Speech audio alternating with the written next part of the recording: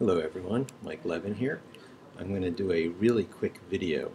I have just downloaded PyCharm and I'm going to do the install. Now PyCharm comes highly recommended by my favorite podcaster Michael Kennedy from Talk Python to me and normally I'm a, either a Jupyter Notebook user or a Vim user and uh, I figure with the type of coding I'm doing now, I might actually like to give uh, the other third big uh, possibility a try. Oh, by the way, I am also a Sublime user, so maybe at some point I could do some comparison between doing uh, Python coding in Sublime uh, versus uh, PyCharm versus Jupyter Notebook versus Vim. Uh, that would make for an interesting video. But for right now, we were here. I mount the disk image.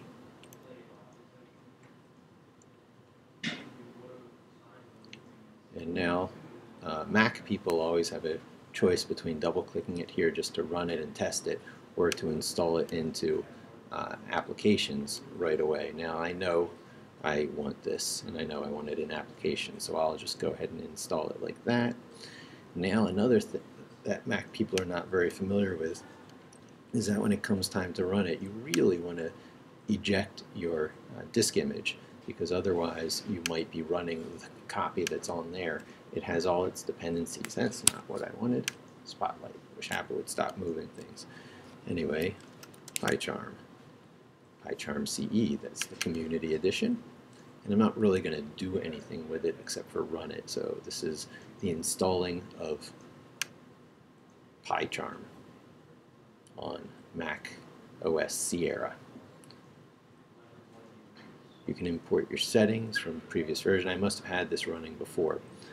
Uh, I do not have a pre. No, okay, yeah. I mean, I've installed this on other machines, so, uh, but I'm pretty sure I haven't done it here.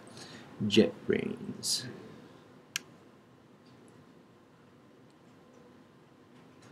They collect data from you.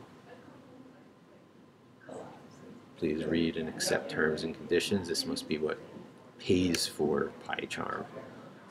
Huh.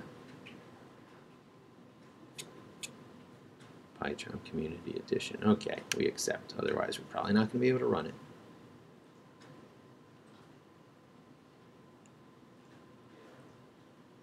Keymap scheme, IDE scheme, editor and fonts. Click to preview. Okay, that's how code's going to look in there. Oh, I see. There is the Darcula. Yeah, I definitely prefer that. Much more similar to my uh, traditional, although not the way I do it in here. So the question is, do I want PyCharm? I'm going to stick to default and get PyCharm out of the box experience before I start customizing. Enable opening files and projects from the command line. No.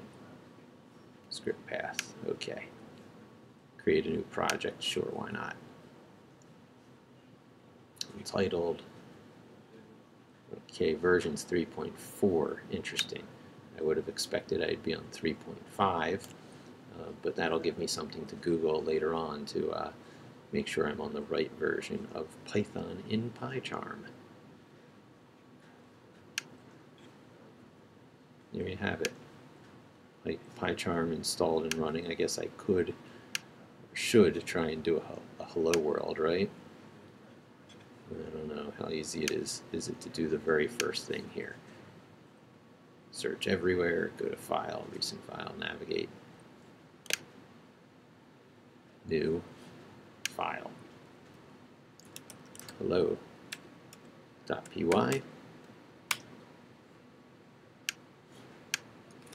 print hello world.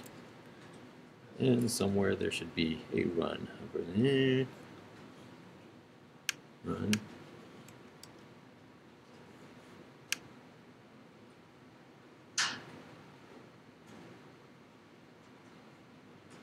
It's like an intelligence test, isn't it?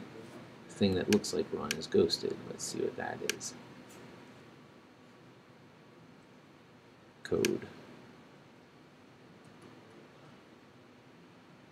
Run, the word run, that'll do it.